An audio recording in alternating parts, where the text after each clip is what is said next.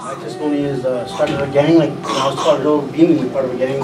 Um, everything around the streets, man. Uh, did 10 years in prison. Did four years as a juvenile first, and did 10 years in prison.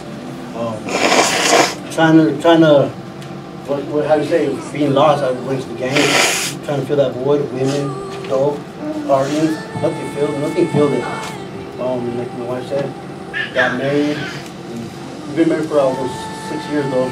But the last, the year before we started coming here, dope, but when dope selling it, I thought I was gonna beat it, and we you know, it, not use it. And I got the best of me. I lost everything. We lost everything. Um, and the week before we got served, started serving the Lord. Uh, I was in the shower and they just they said she took her knife. I got in, she, didn't come, and I got out.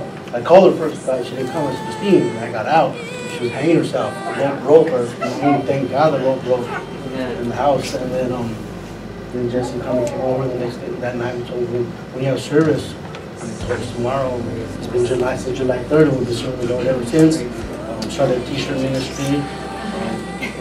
I just want, like, I, I pray for all my partners and, and enemies, you know what I mean? Like, uh, gangs ain't the way, man. The streets ain't the way. It's not. Uh, man, I did everything thinking it was. Hurt a lot of people in the way.